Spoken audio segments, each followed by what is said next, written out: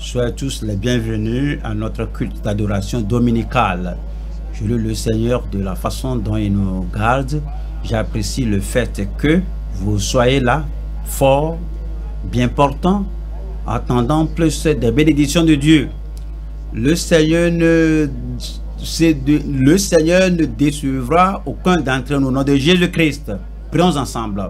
Père, te remercions, nous bénissons ton nom. Tu es un bon Dieu, un Dieu miséricordieux, un Dieu aimable, très puissant. Et tu protèges chacun de nous. Nous prions, Seigneur, que, nous soyons à jamais reconnaissants pour les grandes choses que tu fais dans toute vie et pour les témoignages que nous avons comment tu guéris ceux qui sont malades et tu délivres ceux qui sont opprimés, comment tu manifestes ton amour de façon multiple? Nous prions que ton amour ne cesse jamais dans nos vies au nom de Jésus-Christ. Une fois encore, comme nous sommes arrivés à écouter ta parole, nous prions que l'Esprit de Dieu, le Saint-Esprit, prenne la parole que nous lisons et l'applique au cœur de chacun de nous au nom de Jésus-Christ. Nous te remercions parce que tu nous as exaucés. Au nom de Jésus, nous prions. Amen. Une fois encore, vous êtes les bienvenus. J'apprécie le fait que vous soyez ici. Nous sommes ici ensemble pour servir le Seigneur et adorer le Seigneur. Aujourd'hui, comme vous l'avez appris au temps du sondage, nous avons réellement lu euh, Apocalypse chapitre 2, du verset 1 au verset 7. Ouvrez la Bible avec moi. Nous allons faire cela maintenant. Apocalypse chapitre 2, nous lisons du verset 1. Verset 1 dit, écrit à l'ange de l'église d'Éphèse. Voici ce que dit celui qui tient les sept étoiles dans sa main droite, celui qui marche au milieu des sept chandeliers d'or. Et nous dit que Jésus-Christ, le chef de l'église, est toujours encore en charge. Et vous pourriez croire que à cause de ce problème, à cause de l'autre problème, et à cause de la dévastation globale, qu'à cause de cette pandémie, que Christ est se retire jamais. C'est lui toujours et qui tient les sept étoiles dans sa main droite. Je vais vous rappeler que le, le nombre 7 représente l'entièreté, la complétude, la totalité du peuple de Dieu, tous les membres, les enfants de Dieu, tous les serviteurs de Dieu. Le Seigneur Jésus-Christ tient les sept étoiles dans sa main. Et les sept étoiles, vous serez une étoile dans la main du Seigneur au nom de Jésus-Christ.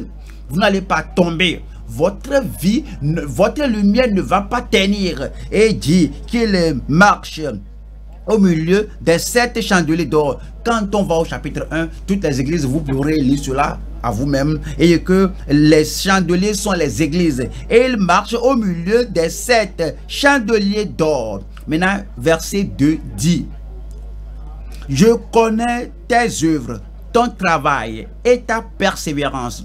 Je sais que tu ne peux supporter les méchants, que tu as éprouvé ceux qui se disent apôtres et qui ne le sont pas et que tu les as trouvés menteurs. Je veux que vous souligniez les, mots là. Euh, cette euh, euh, phrase, je connais tes œuvres.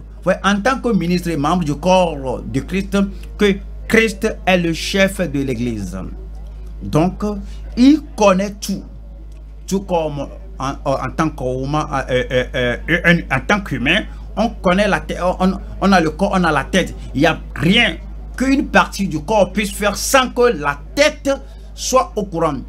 Et les yeux ne peuvent rien faire, la main, la bouche ne peuvent rien, ne, peuvent, ne peuvent rien dire sans que la tête soit au contrôle. Et le corps, ben, les yeux peuvent dire que je vais faire je vais voir ci, je vais faire cela, cacher cela, la tête, la tête connaît. En tant que Christ qui est le chef de l'église, que je connais, je connais tout ce que les membres de l'église font. Ils ne peuvent rien faire en secret, ils ne peuvent rien faire en public, moi je ne connais pas. Je connais tes œuvres.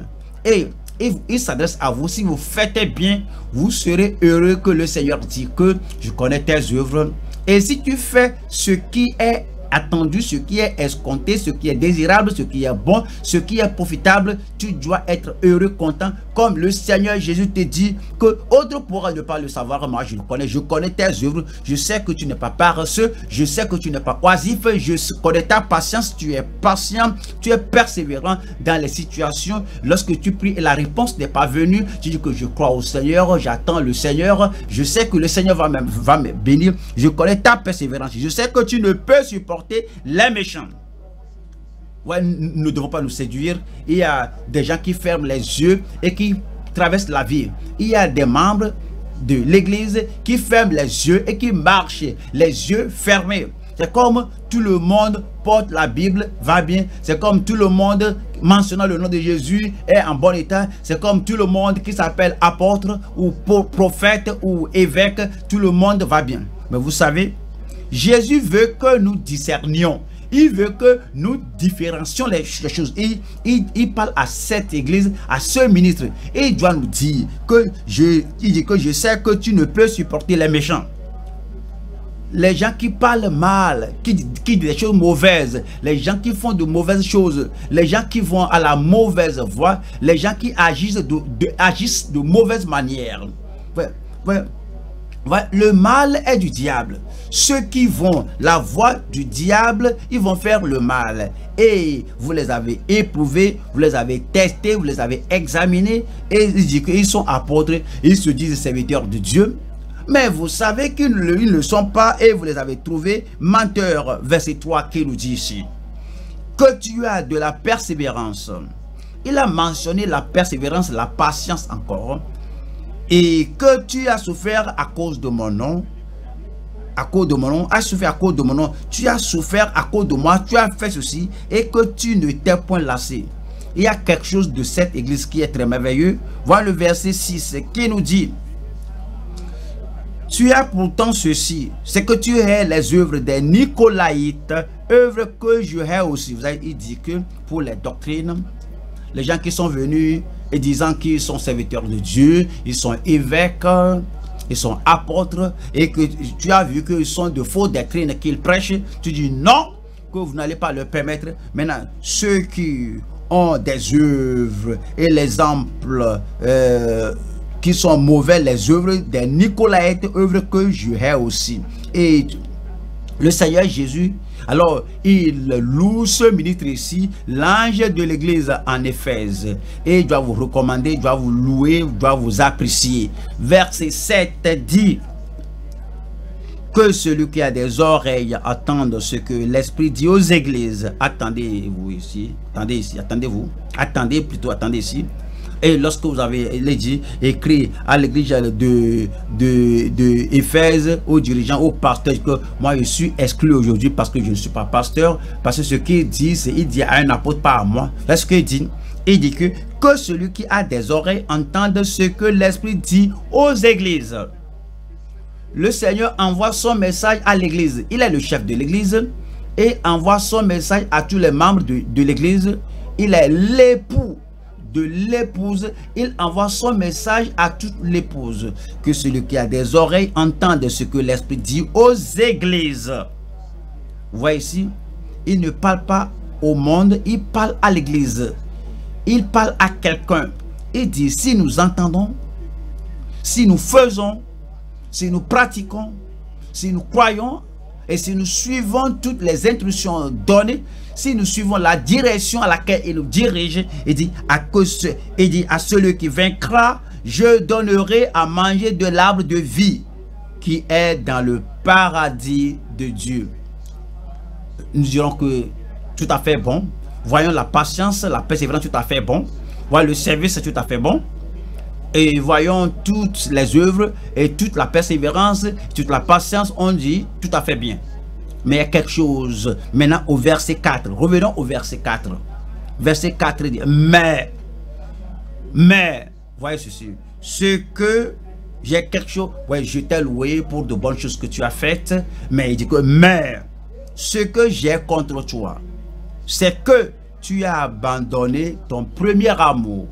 Je veux que vous souligniez, vous souligniez ceci, ton premier amour. Il y a quelque chose que Christ appelle premier amour. il y a quelque chose aussi dans la parole de Dieu qu'il appelle le, que la première fois. Numéro 1, attendez, c'est le premier amour. Numéro 2, voyons, 1 Timothée 5, 1 Timothée 5, 12. 1 Timothée 5, 12. Et se rendent coupables en ce qu'elles violent leur premier engagement. Voyez, leur première fois. Voyez encore. Leur premier engagement, c'est-à-dire leur première fois, numéro 1, c'est leur premier amour. Numéro 2, c'est leur, leur première fois. Allons, retournons au, à Apocalypse 2, verset 5. 5. Souviens-toi donc d'où tu es tombé, repens-toi et pratique tes premières œuvres. Soulignez encore cela, cela. Tes premières œuvres, soulignez cela. Et pratique les premières œuvres. Sinon, je viendrai à toi et j'ôterai ton chandelier de sa place, à moins que tu ne te repentes. C'est pourquoi nous allons considérer le message du jour, qui est la priorité de la première foi, du premier amour et des premières œuvres.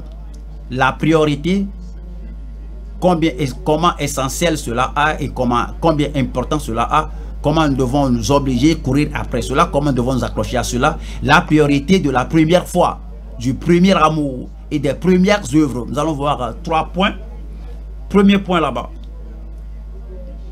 Premier point, les, les prérequis de la première foi. Si nous devons avoir quelque chose du Seigneur, les prérequis de la première foi.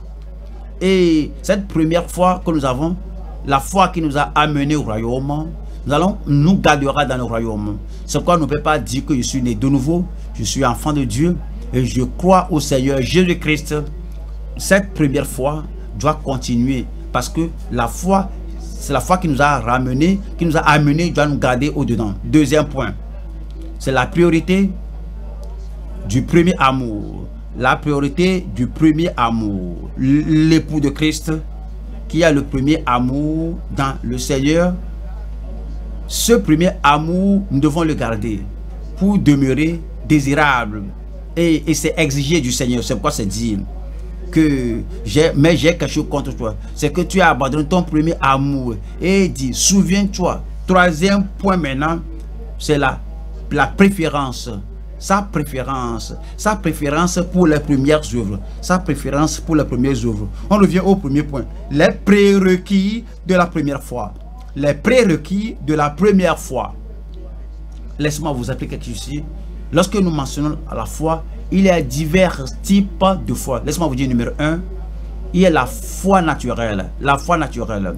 Vous savez, dans la famille, un enfant à la foi en sa mère, un enfant à la fois en son père dans la famille, lorsque l'enfant, selon Matthieu 7, verset 9 à 10, si l'enfant demande à son père euh, du pain, l'enfant croit qu'il il aura, il aura, du pain, que le papa ne lui donnera pas euh, une, pierre. S'il demande un poisson, il, sait qu'il aura le, poisson, il n'aura pas de scorpion ou de serpent. Il y a la foi naturelle. Non seulement ça, et ceci pourra vous surprendre. Il y a la foi diabolique. Avez-vous jamais appris cela? Là, il ceci maintenant. Allons à Jacques chapitre 2. Jacques 2, 19. Jacques 2, 19. Qui dit Jacques 2, 19. Tu crois qu'il y a un seul Dieu. Tu, tu crois qu'il y a un seul Dieu. Tu fais bien. Les démons le croient aussi et ils tremblent. Les démons le croient aussi et ils tremblent. Donc, vous ne pas dire que la foi, foi, foi, numéro un, il y a la foi naturelle. Deux, il y a la foi démoniaque ou diabolique. les démons croient qu'il y a un Dieu. Oui, ils croient, mais il y a un Dieu, mais ils tremblent. Alors, ils ne se repentent pas. Oui, oui le, le, diable, le, les démons savent que le jugement viendra et que cela viendra un jour. Mais ils ne se repentent pas. Donc, on doit être prudent du type de foi qu'on a. Voyez suit. Et allons à Luc, Luc, Luc, chapitre 8, verset 30. Patte du démon qui devait être chassé. Euh, Luc 8, 30, qui dit Et Jésus lui demanda quel est ton nom? Légion répondit-il, car plusieurs démons étaient entrés en lui. Verset 31. Et il priait instamment. Jésus, de ne pas leur ordonner d'aller dans l'abîme. Ce sont les démons, ce sont des esprits mauvais. Et ces démons croyaient que Jésus a le pouvoir et la puissance que s'il leur ordonne d'aller dans l'abîme, c'est exactement là où ils iront. Alors s'il leur dit d'aller en enfer, c'est exactement le lieu qu'ils iront. Alors de ne pas les tourmenter avant le temps de leur jugement. Ils croient mais ils ne se sont pas repentis. Les gens qui disent que je crois, je crois, et ne se repentent pas, et ils ont la foi du diable, la foi démoniaque. Les gens qui disent que je suis une personne fiable, je me confie à tout le monde, ce n'est pas la foi naturelle, mais que la foi qui importe maintenant, c'est la foi en Christ pour le salut. Comprenez cela.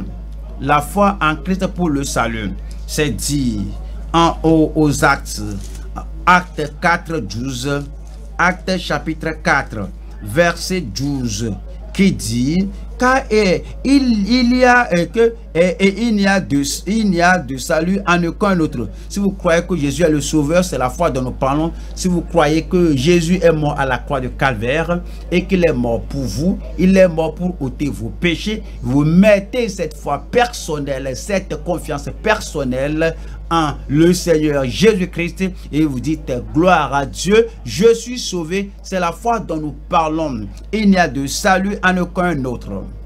Car il n'y a sous le ciel aucun autre nom qui ait été donné parmi les hommes par lequel nous devions être sauvés. Donc, la donc le prérequis de rentrer dans le royaume de Dieu, le prérequis de demeurer, de rester dans le royaume, le prérequis de persévérer jusqu'à la fin, afin qu'on soit là au dernier jour. Lorsque les saints entrent au ciel, vous serez là, je serai là. Le, prérequis, c'est la France. Nous allons voir trois points ici sous le prérequis de la première fois. Nous allons voir euh, Marc, euh, Marc 1, Hein, eh, oui, la, conversion, c'est la, pré, le prérequis d'avoir foi en Dieu.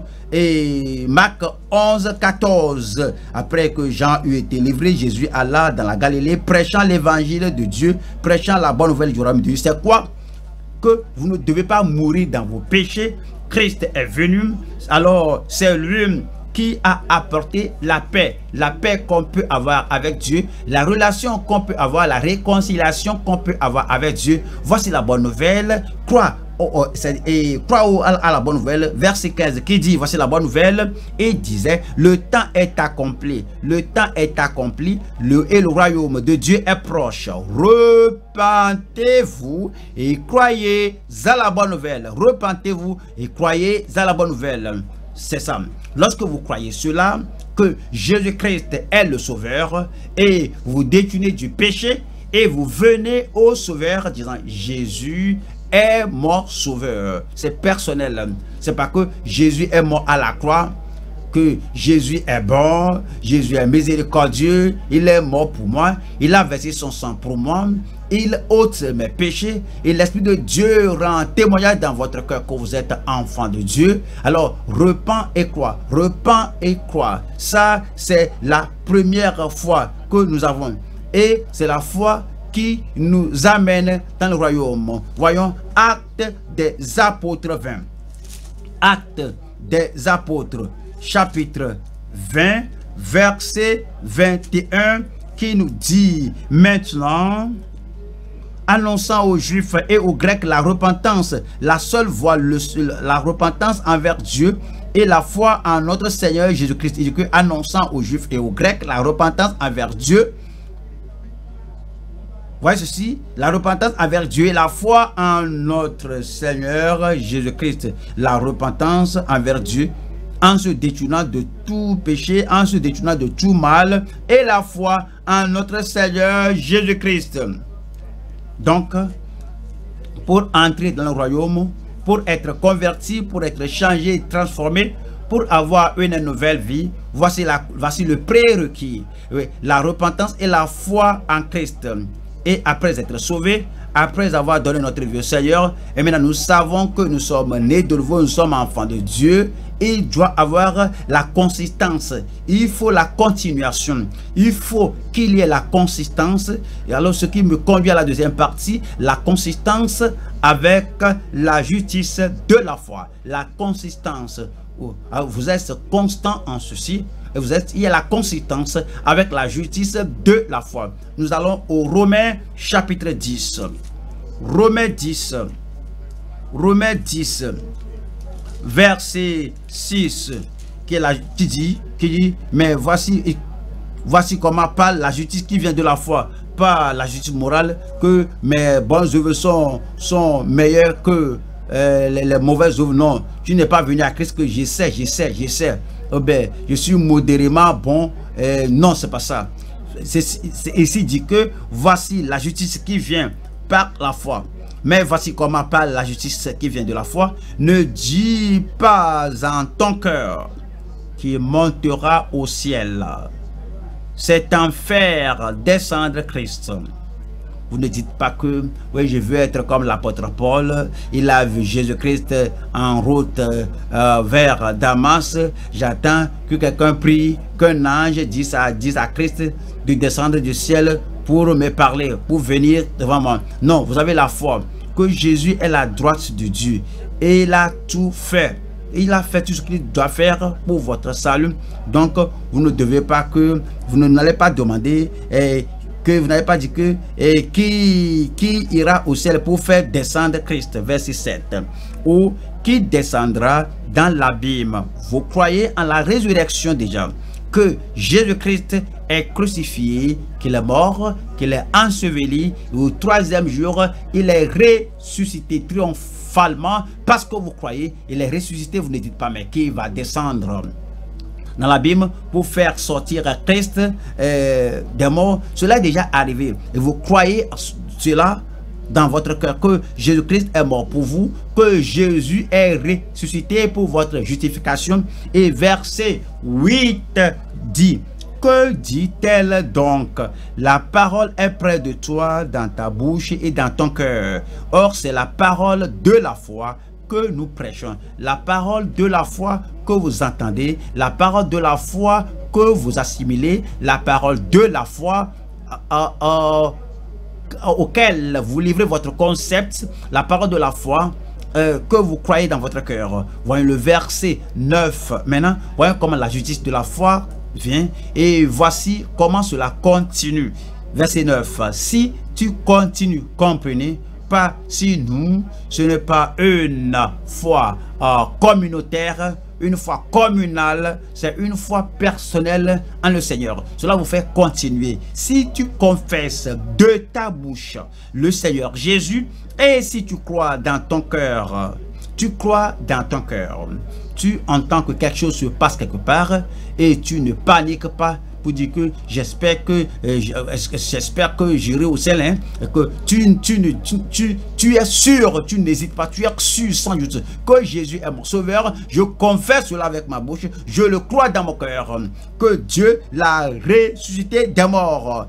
Et si tu crois dans ton cœur que, tu que Dieu l'a ressuscité des morts, tu seras sauvé. Verset 10 dit, car c'est en croyant du cœur qu'on parvient à la justice. C'est la seule voie. Ce n'est pas que j'essaie de vivre dans la justice, j'essaie d'être juste, j'essaie d'avoir une nouvelle vie, j'essaie de prendre la résolution, je fais de mon mieux. Ton salut est en Christ le Sauveur et ton assurance est dans le fait qu'il est mort pour toi ton assurance est dans le fait qu'il est ressuscité encore. Il n'y a pas de doute dans ton cœur. Tu donnes ta vie au Seigneur et quiconque vient à moi, je ne le mettrai pas dehors car c'est en croyant du cœur qu'on parvient à la justice, c'est en confessant de la bouche qu'on parvient au salut, par ta bouche. C'est pas que un pasteur va te dire que maintenant tu es sauvé, ce n'est pas que quelqu'un eh, te dit que faut pas douter, tu es sauvé. C'est toi qui dois croire dans ton cœur,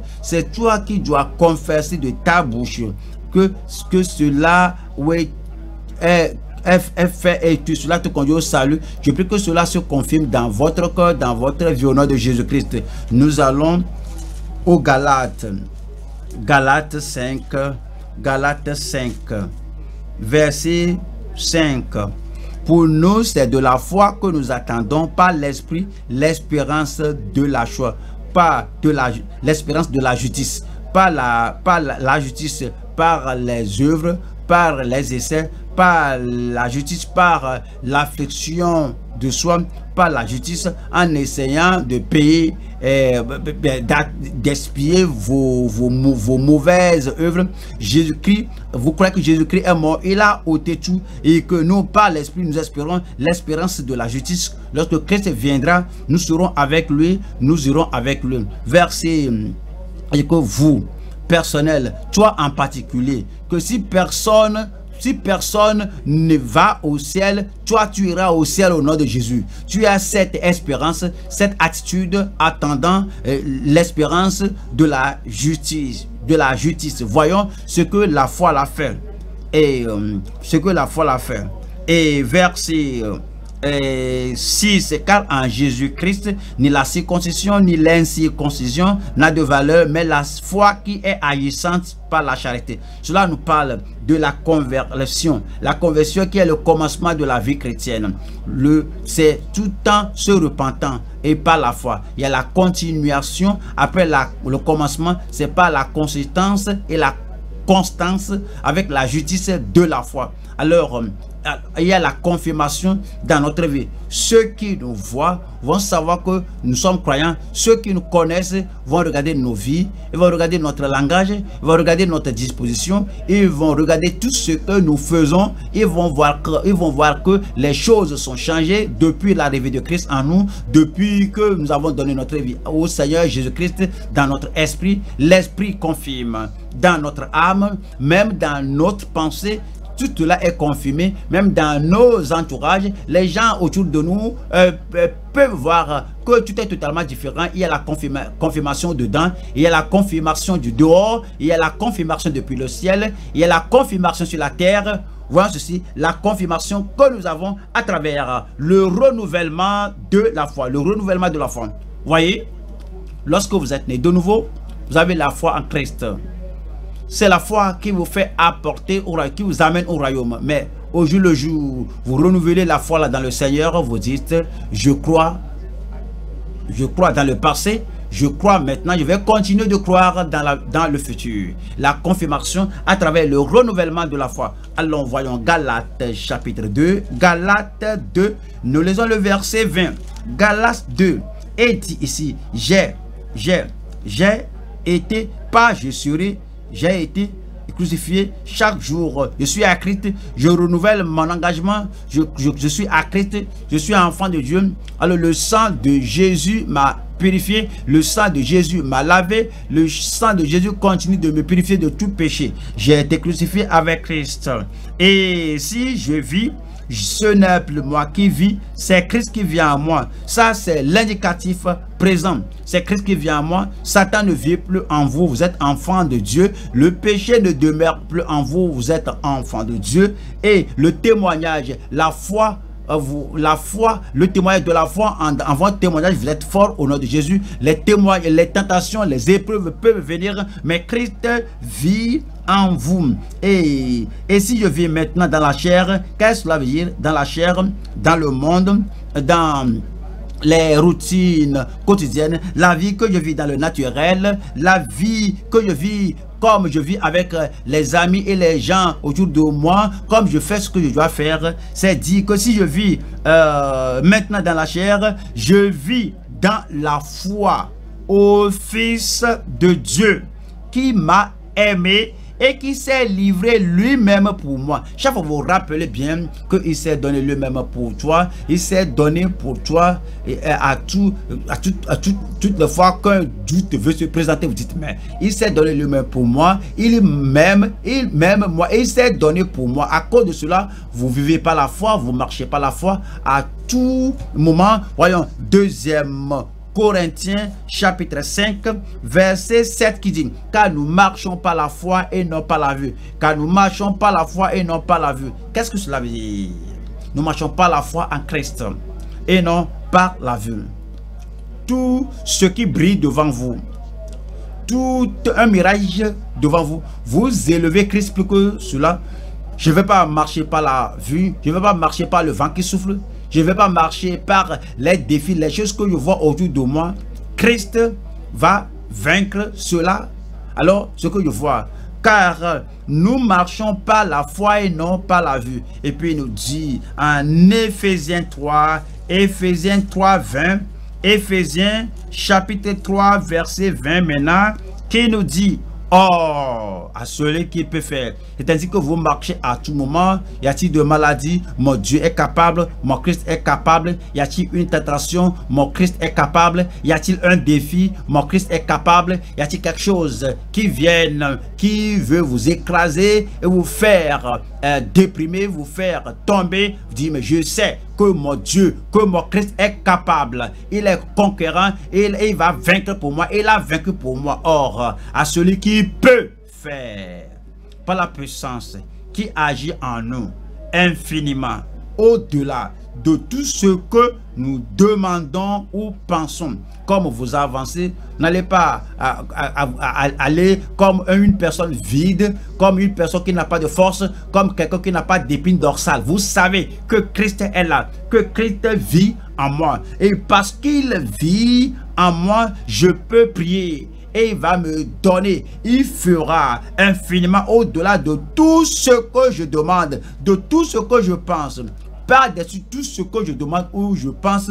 Et, et, c'est selon la puissance qui agit en nous. Voyons cela. Pas selon la puissance qui agit en Galilée, qui agit en Jérusalem, car la puissance qui agit 2000 ans passés, elle ne sait pas ce qui se passe aujourd'hui. Aujourd'hui, en ce même temps, cette puissance agit dans le croyant. Et cette puissance va continuer d'agir en vous. C'est la confirmation comme on voit Ephésiens chapitre 6, verset 16. Ephésiens 6 et 16 qui dit, prenez par-dessus tout cela le bouclier de la foi avec lequel vous pourrez éteindre. Dieu est capable, Dieu est capable, maintenant c'est dit que vous serez capable. Dites, donnez-moi un bon amen. Vous êtes capable maintenant. Vous allez, vous allez écraser, vous allez cracher, vous allez piétiner, vous allez écraser tout cela. Parce que dit, prenez part de tout cela, le bouclier de la foi, avec lequel vous pourrez éteindre combien de traits enflammés du malin? Dites-le moi à haute voix. Je dis combien de traits enflammés du malin? Dites-le moi. Et quand vous serez en mesure d'en triompher, vous serez en mesure d'éteindre tous les traits enflammés du malin. Cela nous dit donc, euh, cela me dit les prérequis, les, les prérequis de la première fois. Nous allons maintenant au deuxième point qui est la priorité de notre premier amour. La priorité du premier amour. Nous retournons à Apocalypse chapitre 2 verset 4. Apocalypse 2 4 qui dit Mais ce que j'ai contre toi, c'est que tu as abandonné ton premier amour. Je vais vous expliquer une fois encore. Il y a divers types d'amour. Divers types d'amour. Numéro 1, il y a l'amour naturel. L'amour naturel. Est-ce que vous vous rappelez bien que Jacob aimait Joseph parce qu'il est le fils de sa vieillesse? C'est ce qu'on trouve en Genèse 37 et verset 3. Et que parce que voici mon fils de, de vieux âge, il attend, j'attends que sa maman me donne un tel fils et dans, euh, ma vieille, dans ma, à ma vieillesse, euh, sa maman m'a donné cette, cet enfant. Ça, c'est l'amour naturel. Vous savez que, vous savez que Isaac aimait Esaü à cause du potage, à cause du gibier, qui, gibier plutôt qui mangeait de Esaü. C'est l'amour naturel. Et d'autre part, Rebecca aimait Jacob à cause de ce qu'elle ce qu'elle ce qu'il faisait. Ça c'est l'amour familial, c'est l'amour naturel. Donc euh, l'amour dont le Seigneur parle ici que euh, mais euh, que ce que j'ai contre ce que j'ai contre toi c'est que tu as abandonné ton premier amour ce n'est pas l'amour naturel regardez la maman la maman a l'enfant et l'enfant maman va avec l'enfant elle veut traverser une la voie et l'enfant va devant l'enfant là et l'enfant va devant, la, devant maman, il y a une voiture qui vient, maman va courir pour prendre l'enfant, pour pouvoir l'épargner, parce qu'il y a une voiture qui vient, sinon cela va écraser l'enfant là. Ça, c'est l'amour naturel. Après l'amour naturel, il y a l'amour, il y a l'amour érotique. L'amour érotique, c'est l'amour sensuel. Vous voyez que euh, Delilah qui disait à Samuel, à Samson, que tu dis que tu m'aimes et ton corps n'est pas avec moi et tu ne m'as pas dit le secret de ta force. Alors ça, c'est l'erreur. Ça, ça c'est sensuel. Ça, c'est charnel. Ça, c'est pas l'amour dont le Seigneur parle. Il parlait numéro 3 maintenant de l'amour divin l'amour venant de Dieu, l'amour agapé, c'est cet amour divin que le c'est ce dont le Seigneur Jésus parle car Dieu a tant aimé le monde, c'est l'amour divin, l'amour céleste. Car Dieu a tant aimé le monde qu'il a donné son Fils unique afin que quiconque croit en lui ne périsse point, mais qu'il ait la vie éternelle. Maintenant, ce type d'amour que Jésus espérait le premier amour. Il a dit que tu as abandonné ton premier amour. Comment comment le comprenons-nous? Voilà trois choses sur la priorité du premier amour. Numéro un, la continuation du plein amour inextinguible la continuation du plein amour inextinguible. De quel amour s'agit-il? Si nous dirons que c'est inextinguible, ça veut dire que ça ne peut pas s'éteindre. Ça veut dire que c'est comme il y a un coffre, on met la chose là-bas, quel que soit le feu qui va arriver, et le feu ne peut jamais brûler le document dans un coffre. Donc parce que c'est protégé, inextinguible. Lorsque votre amour est vraiment un grand amour, qu'aucun feu ne peut détruire l'amour là, c'est un amour inextinguible un amour inépuisable, un amour qui demeure clair. Alors, numéro un, c'est la continuation euh, du plein amour inextinguible. Alors, à Jean, Jean 15, 9, Jean 15, 9, comme le Père m'a aimé, un amour total, un amour inextinguible, un amour entier, absolu, comme le Père m'a aimé, je vous ai aussi aimé. Demeurez dans mon amour. Le verset 10, qui nous dit?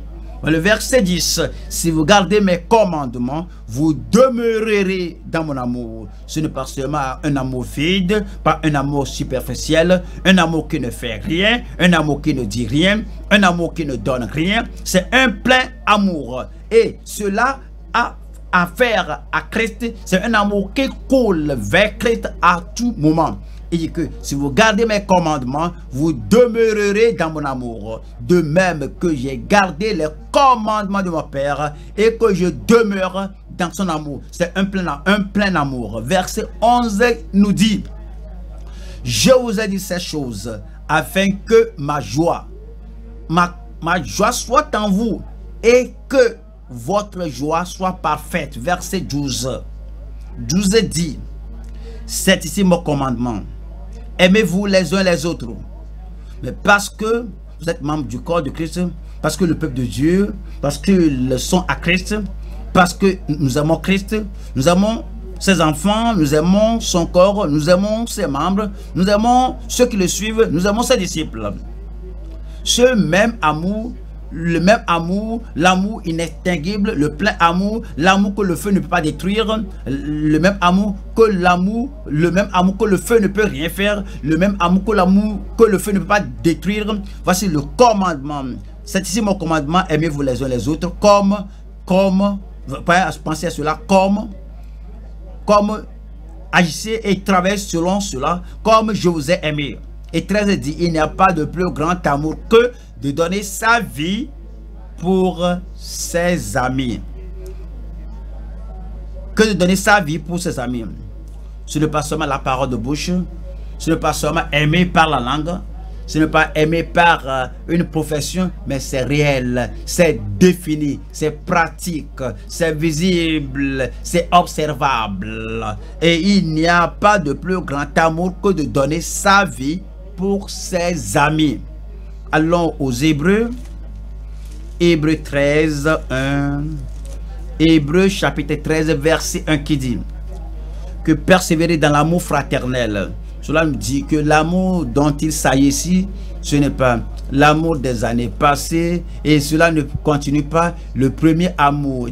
Eh souviens-toi donc tu es tombé et repens-toi et fais les premières œuvres encore. Ramène ce même, amour et que l'amour fraternel continue. Il nous dit en 1 Pierre chapitre 1, 7, 1 Pierre chapitre 1, verset 7 nous dit, afin que l'épreuve de votre foi, plus précieuse que l'or périssable, qui cependant est éprouvé par le feu, ait pour résultat la louange, la gloire et l'honneur lorsque Jésus-Christ apparaîtra. Le feu viendra, le feu de la persécution, le feu de malentendu, le feu d'une fausse représentation, tout cela brûlera et cela va éprouver la foi, cela va éprouver l'amour et la foi et l'amour vont demeurer jusqu'au jour de jusqu'au jour où Christ apparaîtra.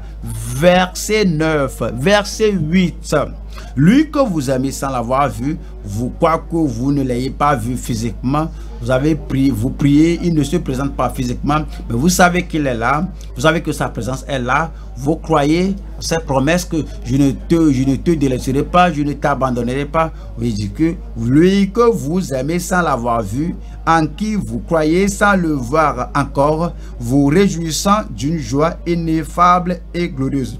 L'amour et la foi, vous l'aimez, vous croyez en lui, et vous réjouissant d'une joie ineffable et glorieuse. Et nous allons au Romains chapitre 8. Voici le feu, voici l'amour inéteignible. Voici euh, l'amour que quoique les, les persécutions, les tribulations, le feu, les choses soient là, ça c'est un amour inépuisable, euh, tout comme un coffre un que le feu ne peut pas impacter. Ah, tout est sécurisé. Qui nous séparera de l'amour de Christ? Est-ce la tribulation? C'est le feu est-ce la détresse, c'est le feu? Est-ce la, persécution, c'est le feu? Ou la famine, ou l'épée, ou euh, euh, l'épée?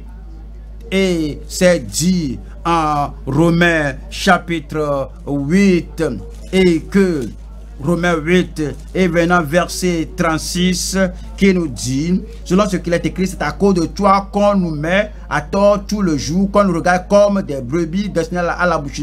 Quelle que soit l'opposition, quel que soit le feu qui nous confronte, verset 37 dit, mais dans toutes ces choses, nous sommes plus que vainqueurs par celui qui nous a aimés.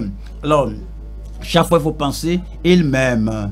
Le monde fait ce qu'il veut faire, mais le Seigneur m'aime et la mère mugit, cela ne supprime pas son amour. Je sais qu'il m'aime. Le feu vient, les épreuves viennent avec une succession rapide. Je sais qu'il m'aime et cela me rend plus que vainqueur. Oui, je sais que quelque soit ce qui se passe, quelque soit ce que je vois, quelque soit ce que je sens, quelque soit ce qui se déplace autour de moi, je sais qu'il m'aime. Mais dans toutes ces choses, nous sommes plus que vainqueurs par celui qui nous a aimés. Verset 38, car j'ai l'assurance, car j'ai l'assurance, car j'ai l'assurance que ni la mort, ni la vie, ni les anges, ni les dominations, ni les choses présentes, ni les choses à venir, ni les puissances, ni la hauteur, il a tout combiné, et ni les choses comme la mort, euh, ni, les, euh, ni la puissance, euh, ni la hauteur, ni la profondeur. Et il a tout combiné, la pandémie ou l'épidémie, les choses à venir que nous ne connaissons pas. Et dit toutes ces choses, verset 39, ni, la puissance, ni la hauteur, ni la profondeur, ni aucune autre créature ne pourra nous séparer de l'amour de Dieu manifesté en Jésus-Christ, notre Seigneur. Cet amour de Dieu, cet amour de Christ qui est manifesté en Jésus-Christ notre Seigneur. Nous allons maintenant à, une autre considération et dire que mais ce que j'ai contre toi, c'est que tu as abandonné ton premier amour. lorsque l'amour devient faible, lorsque l'amour devient anémié, lorsque l'amour devient faux, lorsque l'amour ne continue pas, il y a la condamnation de l'amour faible et anémié. La condamnation euh, de l'amour faible et anémié. Nous allons au Galates. Galates 4. Galates.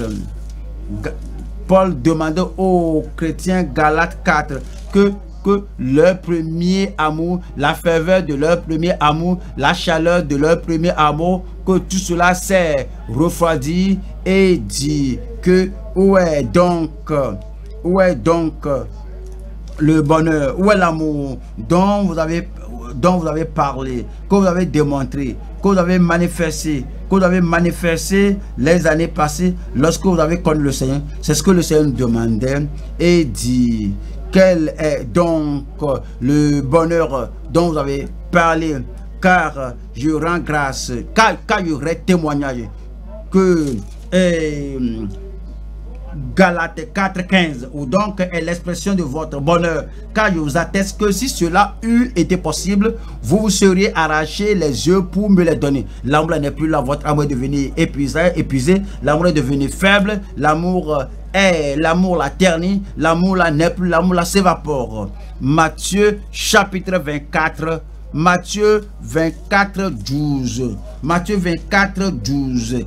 Et parce que l'iniquité se sera accrue, la charité de plus grand nombre se refroidit. Les gens maintenant sur le Seigneur, d'un cœur froid, d'un amour froid, l'enthousiasme n'est plus là, le zèle n'est plus là, la poursuite n'est pas là, le zèle n'est plus là, la passion suivre le Seigneur n'est pas là. Parce que l'iniquité se sera accrue et la charité du plus grand nombre se refroidira. Verset 13. 13 dit mais celui qui persévérera jusqu'à la fin sera sauvé. Je prie que vous persévériez jusqu'à la fin. Que votre amour continue jusqu'à la fin. Que votre passion, que votre zèle continue jusqu'à la fin. Que votre consécration continue jusqu'à la fin. Mais, que, mais celui qui persévérera jusqu'à la fin sera sauvé.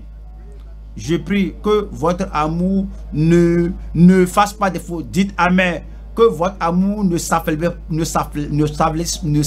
pas, que votre amour ne s'épuise pas et que vous ne tombiez pas à mi-chemin au nom de Jésus. S'il en sera ainsi, vous devez renouveler votre consécration, vous devez renouveler votre dévotion au Seigneur et la décision que vous avez prise au Seigneur. C'est pourquoi le Seigneur dit, examine-toi là où l'amour était et comment l'amour était et revenez et, et, et, et abandonnez l'amour faible et épuisable.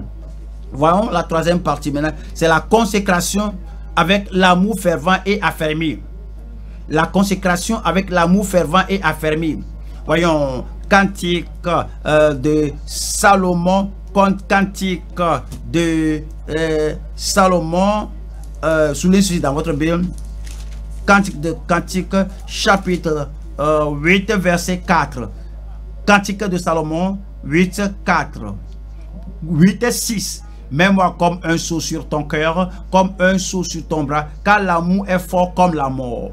Car l'amour est fort comme la mort. La jalousie est inflexible comme le séjour des morts. Ces ardeurs sont des ardeurs de feu, une flamme de l'éternel. Il parle de l'amour et dit même les, les euh, de, feu ne peuvent pas euh, décuire cet amour. C'est quand on parler de l'amour la, inépuisable. Et verset 8 qui dit que, et, verset 7, les grandes eaux ne peuvent éteindre l'amour. Oui, c'est le premier amour qu'on a pour le Seigneur. Il dit verset 7, les grandes eaux ne peuvent éteindre l'amour et les fleuves ne le submergeraient pas. Quand un homme offrirait tous les biens de sa maison contre l'amour, il ne s'attirerait que le mépris. Il nous dit que cet amour, cet amour qui est fervent, qu'on a pour Christ, cet amour qui est, passionné, cet amour chaud et compatissant,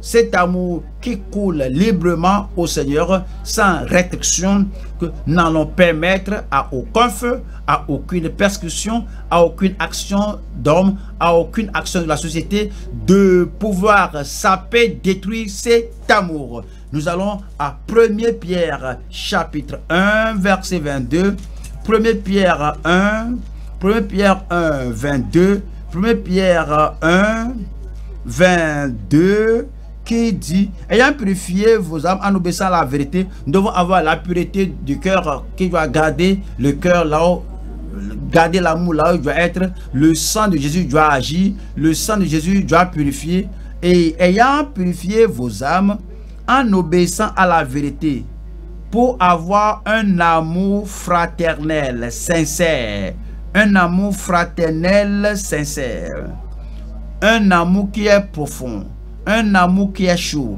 un amour qui est fervent, l'amour fraternel.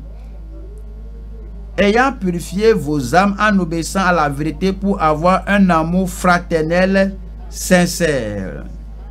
C'est un type d'amour continue de servir le Seigneur, un type d'amour qui coule vers le Seigneur, un type d'amour, c'est le premier amour, c'est ainsi que cela était et c'est ainsi que je veux continuer. Vous allez continuer au nom de Jésus-Christ.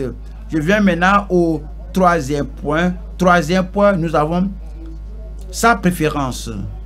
Sa préférence pour les premières œuvres. Sa préférence pour les premières œuvres. Apocalypse 2, verset 5. Souviens-toi donc d'où tu es tombé. Souviens-toi donc, il a déjà dit au ministre, aux membres, il a déjà parlé aux disciples, il s'est adressé à chacun de nous, il s'est adressé à l'église que celui qui a des oreilles entende ce que dit l'Esprit de Dieu aux églises. C'est ce qu'il nous dit maintenant. Souviens-toi donc d'où tu es tombé.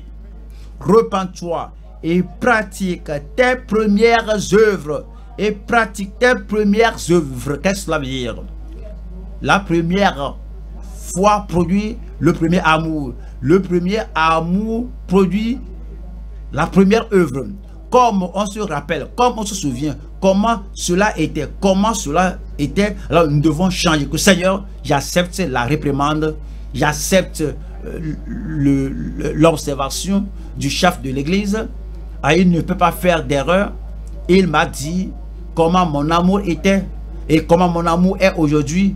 Et en comparant cela, l'amour d'aujourd'hui est moindre par rapport au premier amour. Donc, je dois lever ce qui est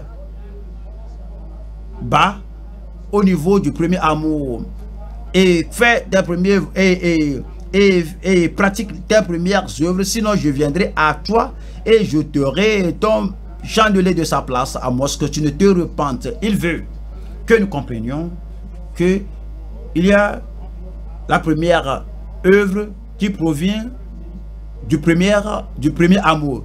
Trois choses là-bas. Numéro un, l'exigence de Christ des premières œuvres.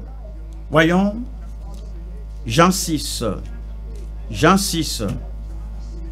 Jean 6 verset 28. Jean 6, 28. Et le dire, que devons-nous faire Que devons-nous faire pour faire les œuvres de Dieu? Comment vous comprenez cela? Les Juifs ont posé la question, que devons-nous faire Que devons-nous mettre sur place afin que nous fassions les œuvres de Dieu? Voilà le verset 29. 29 dit, Jésus leur répondit, l'œuvre de Dieu Voici le commencement de l'œuvre de Dieu.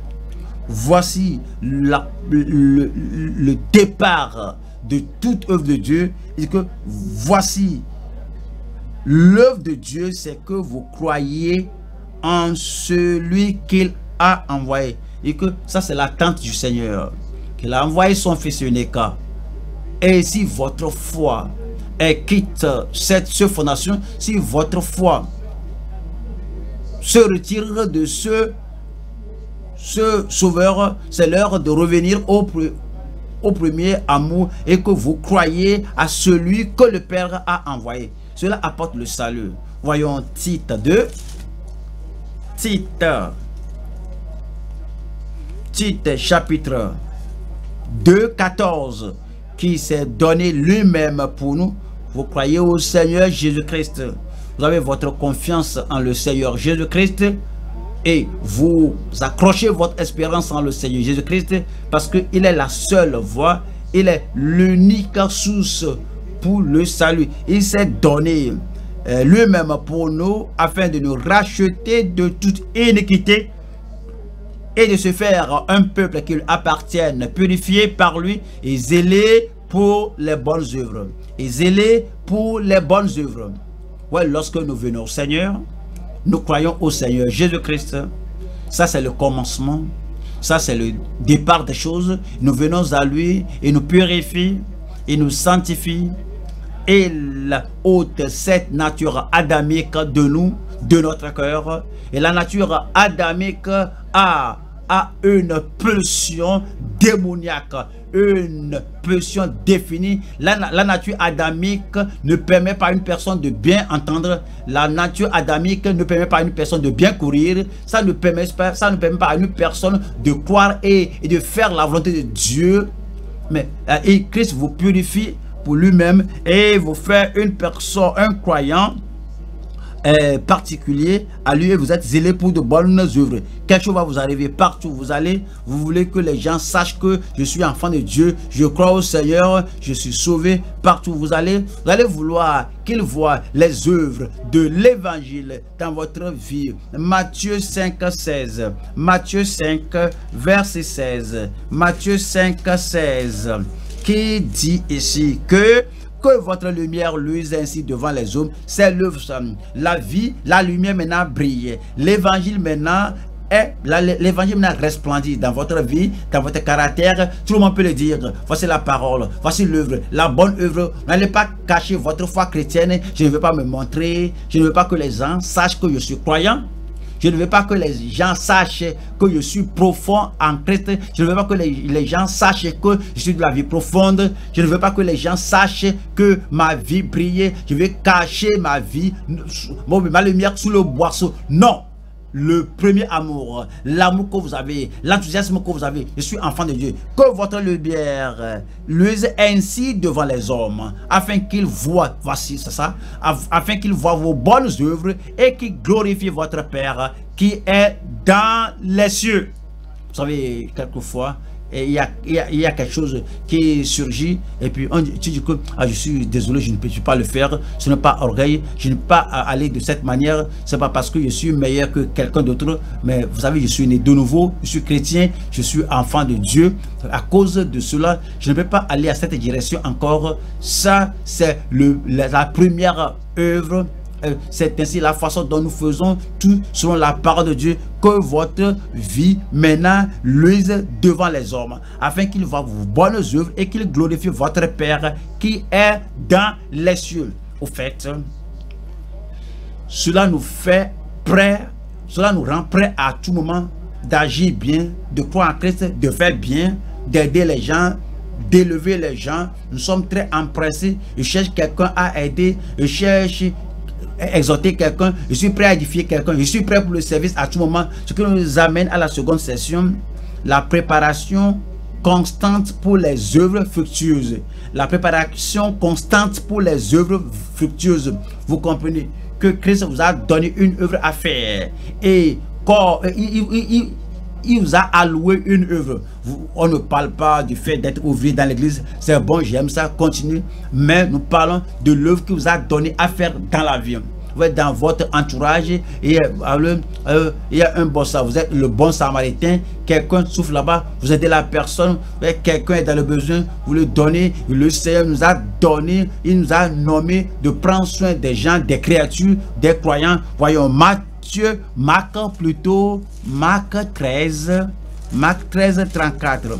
Marc 13, 34 qui dit Il en sera comme d'un homme qui, partant pour un voyage, laisse sa maison, remet l'autorité à ses serviteurs, indique à chacun sa tâche, indique à chacun sa tâche, indique à chacun sa tâche et ordonne au portier de veiller et vous donne une œuvre à faire une œuvre pour sauver des vies dans votre communauté, une œuvre pour encourager les gens dans votre communauté et une œuvre pour édifier ceux qui tombent, une œuvre pour aider, pour, ajouter à ce que Christ aurait fait. Si Christ était là, il prêchera à ce voisin, il aiderait ce voisin, il ferait ce qu'il doit faire. S'il devait, devrait multiplier eh, la nourriture, il le fera pour aider celui-là. Alors, c'est l'œuvre fructueuse et nous sommes prêts à tout moment. Voyons, titre, titre 3, titre 3, verset 8.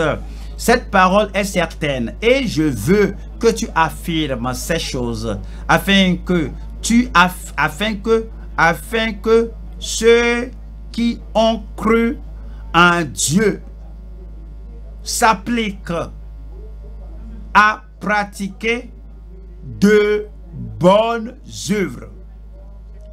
Et chaque fois, vous, vous, vous, vous vérifiez parmi les frères, y a-t-il quelqu'un qui soit dans le besoin, vous voulez faire de bonnes œuvres, euh, peu importe que la personne soit de cette tribu ou de l'autre tribu ou de notre tribu, il est, de, il est du nord, il est du sud, de l'ouest, de l'est, vous voulez faire du bien à tous.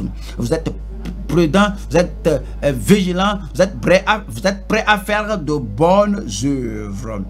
Et voilà ce qui est bon et utile aux hommes. Vous ne ferez rien qui ne soit pas euh, euh, euh, profitable à votre voisin. Vous ne faites rien qui décourage votre voisin. Mais vous faites tout pour pouvoir augmenter la joie de la vie dans la vie de quelqu'un. Comment vous pourrez rendre la vie de la personne profitable? Verset 14, c'est très important.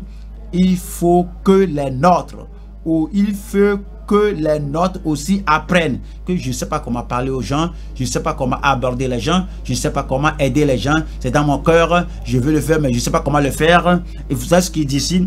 Il faut que les nôtres, les croyants, ceux qui sont au Seigneur, il faut que les croyants aussi apprennent à pratiquer de bonnes œuvres pour subvenir aux besoins pressants afin qu'ils ne soient pas sans produire des fruits. Que vous ne soyez pas infécond au nom de Jésus-Christ. Amen vous ne soyez pas infécond au nom de Jésus-Christ. Et nous allons à la troisième session qui est les récompenses de couronnement pour les œuvres fidèles. Tout ce que vous avez fait pour la gloire du Seigneur, ce que vous faites pour pour l'élévation, l'édification du croyant en Christ, tout ce que vous faites pour apporter, amener les croyants au Seigneur, il vous récompensera. Ce sont des œuvres de récompense, ce sont de bonnes œuvres que vous faites. Les récompenses de couronnement pour les œuvres fidèles. Nous allons à Apocalypse chapitre 2.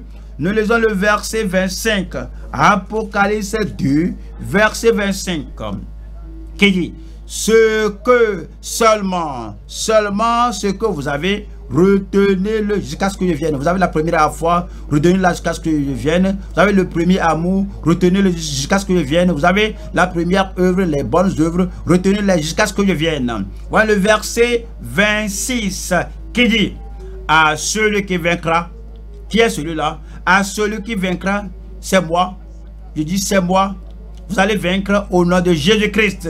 Les épreuves, vous allez en triompher. Les tentations, vous allez en triompher. Le découragement, vous allez en triompher. La maladie, vous allez en triompher.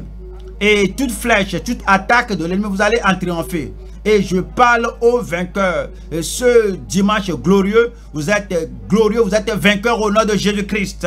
À celui qui vaincra et qui gardera, voici et qui gardera jusqu'à la fin mes œuvres. Voici cela, mes œuvres, les œuvres de Christ ce que Christ aurait fait, ce que Christ ferait, et ce, que Christ aurait fait s'il se trouvait dans votre voisinage. Alors, Christ aurait prêché l'évangile, il aurait dit, il aurait montré la voie de la justice aux autres, il aurait, il aurait montré et, il aurait montré à sa voix, à, sa mort qui, qui les sauverait, il aurait montré, à, il montrait aux gens la voie du ciel. Et, et à celui qui euh, s'est dit que je donne à celui qui gardera jusqu'à la fin mes œuvres la première fois, le premier amour, la première œuvre. Je donnerai autorité sur les nations. Verset 27. Et il les pètera. Et il les pètera. C'est comme vous voulez régner. C'est comme vous allez régner avec Christ. Lorsqu'il viendra, Et, lorsqu'il instaurera son royaume, vous serez là. Vous allez gouverner, vous allez régner au nom de Jésus-Christ. Il les pètera avec une verge de fer. Comme on brise les vases d'argile ainsi que moi-même, j'en ai reçu le pouvoir de mon Père. 28 dit, 28 dit, et je lui donnerai et vous donnera et je lui donnerai l'étoile du matin. Et 29 dit, il dit la même chose, que celui qui a des oreilles entende ce que l'Esprit dit aux églises. Nous parlons aux gens, nous prêchons aux gens qui ont des oreilles pour entendre et c'est vous et vous allez amener le, ramener le premier amour, vous allez ramener la première fois, vous allez, vous allez pratiquer la première œuvre et le Seigneur va vous couronner au dernier jour au nom de Jésus-Christ. Et voyons Apocalypse 3 et nous voyons le verset 11. Apocalypse 3, verset 11. Je viens bientôt nous parlons de l'avènement de Christ et nous parlons de l'enlèvement, nous parlons de la grande tribulation, nous parlons de son second avènement et le Seigneur peut venir à tout moment. Et quelle œuvre avez-vous faite pour mériter la récompense et, le, la couronne quand il viendra?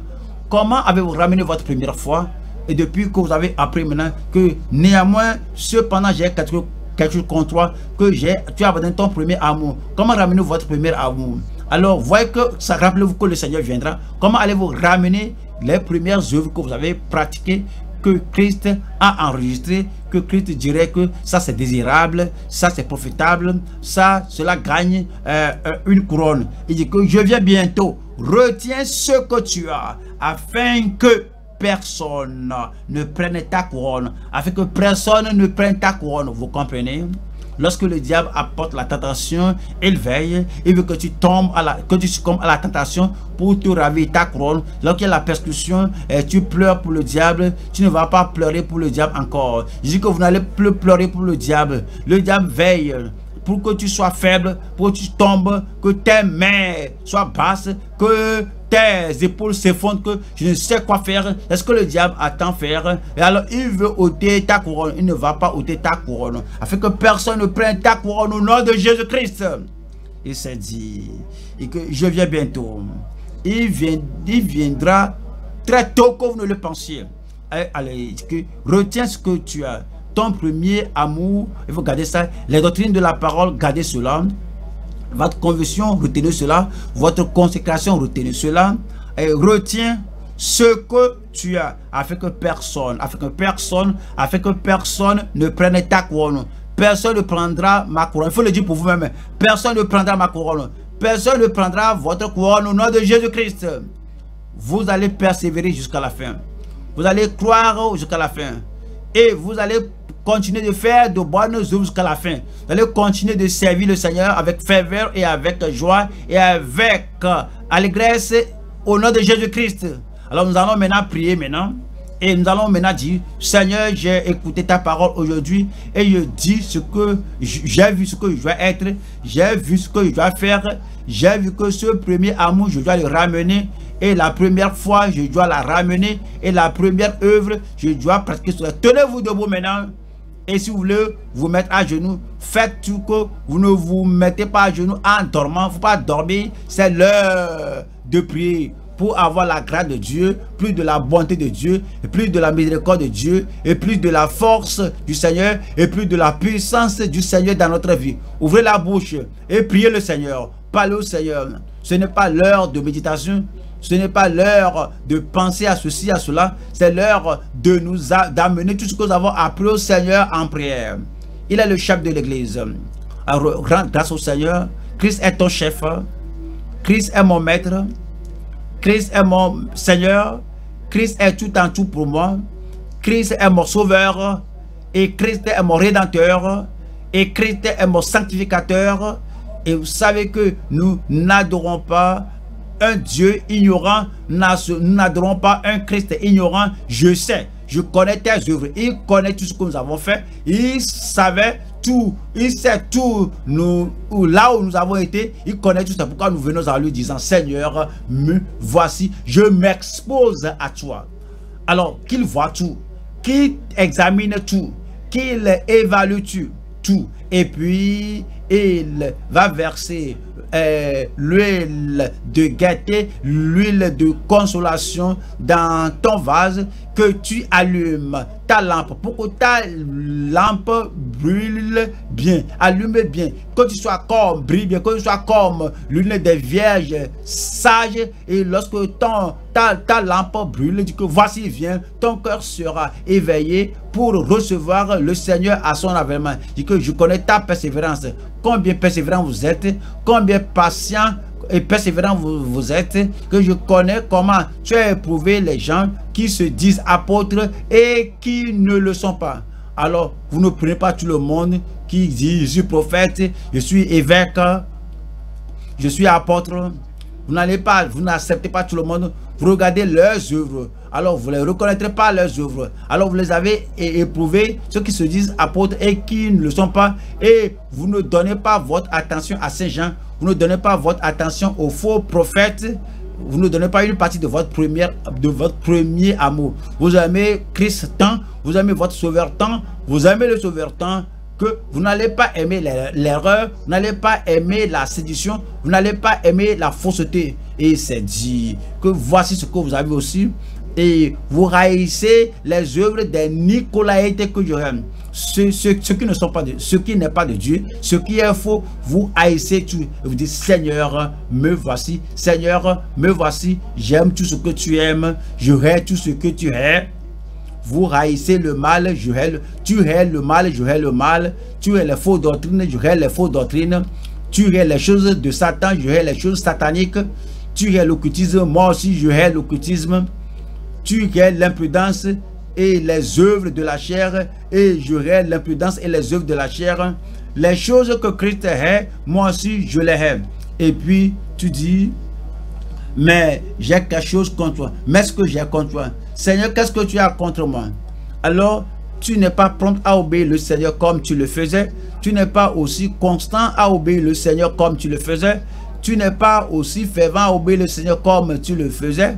Et tu n'es pas aussi profond en consécration comme tu l'étais, tu n'es pas aussi consistant à résister à la tentation comme tu l'étais.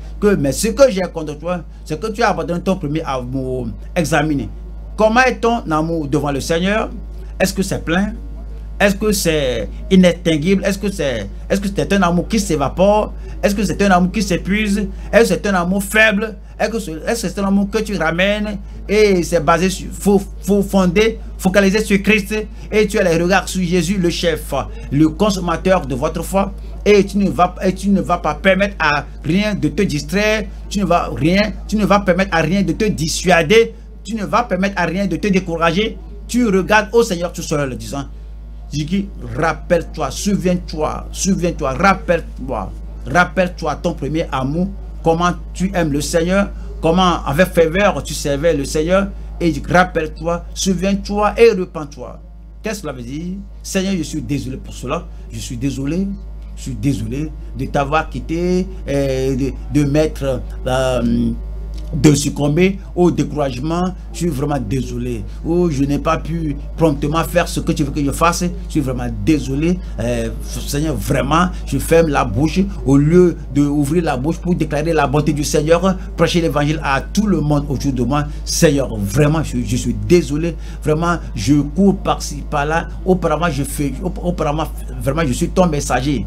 Et vraiment, je suis maintenant très lent. Et dit que repends-toi et repends-toi euh, euh, et voilà là où tu es tombé. Seigneur, je suis désolé. Toute consécration que tu as ôté de l'autel, le Seigneur veut que tu, tu la ramènes sur l'autel. Le Seigneur veut que tu ramènes tout ton cœur, toute ton âme, toute ta force, toutes tes habiletés, tout ce que tu as reçu pour servir le Seigneur. Et, maintenant, tout ce que tu fais maintenant, c'est que tu bricoles, tu essaies de servir le Seigneur. Que maintenant, maintenant, je ramène tout à toi. Je, je consacre tout ce que je suis. Je consacre tout ce que j'ai. Je consacre tout ce que je possède. Je consacre tout pour le service du Seigneur. Et je regarde autour de moi. Je vais aider les gens autour de moi. Je vais élever les gens autour de moi. Je vais encourager les gens autour de moi et je vais faire ce que Christ aurait fait aux gens autour de moi. Quoique le sacrificateur, le lévite, pourrais les négliger. Je serai comme le bon samaritain. Je vais toucher la vie des gens. Je vais aider les gens. Je vais encourager les gens. Je vais prendre soin des gens. Parce que vous le faites. Parce que vous l'avez fait aussi longtemps que vous faites cela pour le moindre de mes frères. Vous me l'avez fait. Vous, vous me l'avez fait.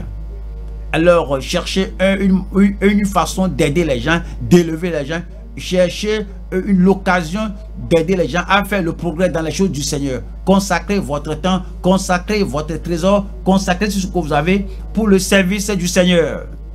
Et le Seigneur vous récompensera. Et puis le jour viendra. Lorsqu'il vous récompensera, lorsqu'il vous couronnera, le Seigneur sera sur le point d'arriver. Et que, et que voici, je viens bientôt. Retiens ce que tu as.